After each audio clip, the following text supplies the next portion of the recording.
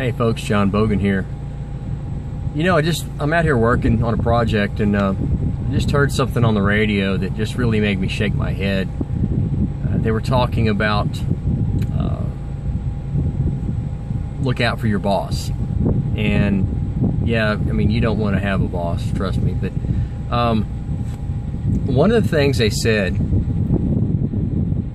was if he uses these phrases, and one of the phrases, there's a couple of phrases. One of them was, let's brainstorm. And their reaction to, to that was, what this really means is he wants to steal your ideas and use them for his own. Well, you know, that type of mentality, that's a, that's scarcity. That, that comes from a, a scarcity perspective. And the simple fact is, if you show somebody something that you know how to do, what is wrong with that? If you share an idea with somebody, what is wrong with that?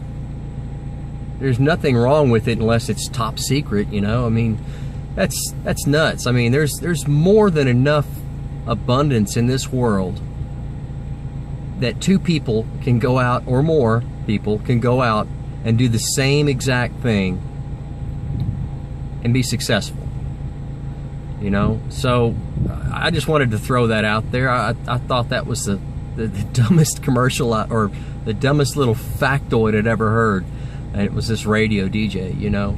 But uh, it, it just it just blows my mind that that's what you hear in mass media is negativity, scarcity. Uh, everybody's out to get you, and the fact is when you realize that the, there's abundance in everything in this world, you know, it it changes your perspective, it changes your way of thinking, and nobody should be running around with the, with the, with a scarcity mentality. So, anyway, John Boggan here. I hope you'll have a great day.